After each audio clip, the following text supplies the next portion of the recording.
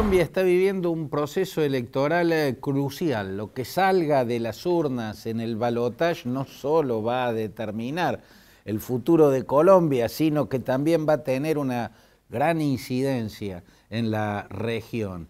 Y lo que puede pasar en Colombia, ya sea gane Rodolfo Hernández o gane Gustavo eh, Petro, implican riesgos, riesgos, hay sombras sobre el proceso electoral y sobre lo que puede venir a renglones seguido. ¿Cuál es el riesgo que, que, puede implicar un gobierno de Rodolfo Hernández? Y bueno, ser un gobierno demagógico, tumultuoso y confuso, tan confuso como el discurso de este empresario de la construcción que se hizo millonario y que desde la década del 90 está entrando en la política como concejal primero en Bucaramanga, la ciudad de la que después fue alcalde. El discurso con el que hizo esta campaña fue un discurso tumultuoso y confuso. Fue un discurso superficial y facilista hizo centro donde había que pegar para llegar a presentarse o ser considerado como el antisistema, algo que en estos tiempos es redituable políticamente, cotiza electoralmente, pero realmente hacer centro en el tema de la corrupción, como hizo centro casi con exclusividad el discurso de este candidato, eh, da garantías de que va a luchar de verdad contra la corrupción.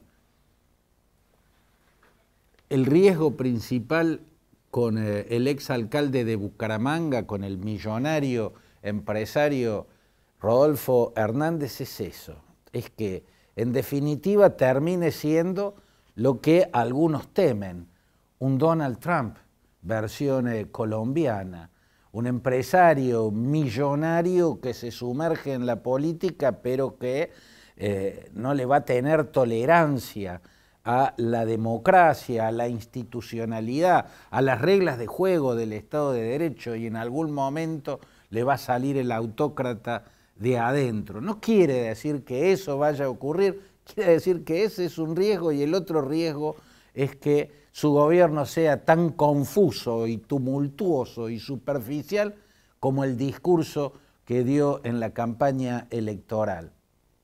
El riesgo con Gustavo Petro no es que haya pertenecido a la guerrilla a la que perteneció el movimiento 19 de abril, más conocido por su sigla, M19. La verdad es que del M19 han salido otros políticos y algunos fueron relevantes, eh, incluso hicieron aportes muy significativos a la democracia colombiana. Para mí el caso más notable es el de Antonio Navarro Wolf.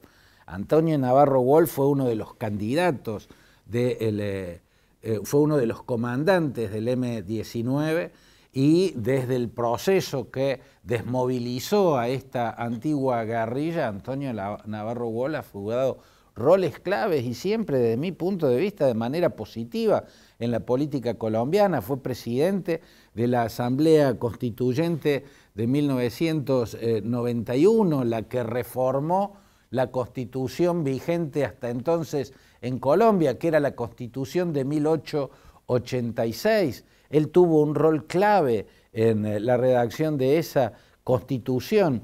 Eh, fue gobernador del estado de Nariño, fue senador, eh, fue también ministro de Salud en el gobierno del presidente César Gaviria, ministro de Salud, Navarro Wolf tenía lógica porque su profesión era la de ingeniero sanitarista, eso es lo que había estudiado en la universidad antes de eh, meterse en el proceso guerrillero. Yo creo que el caso de Antonio Navarro Wolf eh, prueba que se puede salir de la guerrilla y ser un, factor muy positivo en el escenario político para la democracia.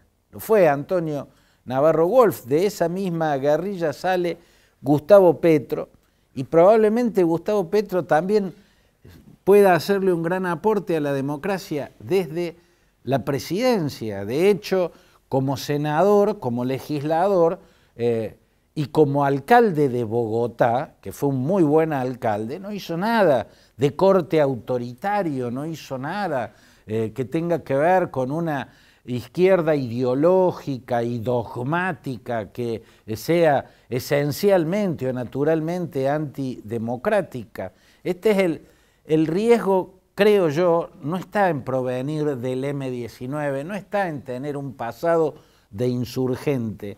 Eh, el riesgo está en que eh, en su momento tuvo cierta fascinación por el liderazgo de Hugo Chávez y si bien tomó distancia de lo que yo llamo el régimen residual chavista, o sea, ese régimen calamitoso y autoritario que encabezan Nicolás Maduro y Diosdado Cabello, y que también es de los políticos Gustavo Petro que guarda silencio frente a los atropellos contra las libertades y la democracia de regímenes como el de Daniel Ortega y su esposa Rosario Murillo, en eh, Nicaragua o el régimen cubano, ¿no? es de los que guardan silencio cuando lanza, por ejemplo, como hizo Díaz Canel, una brutal represión a, las manifestaciones eh, callejeras, a las protestas de eh, los ciudadanos.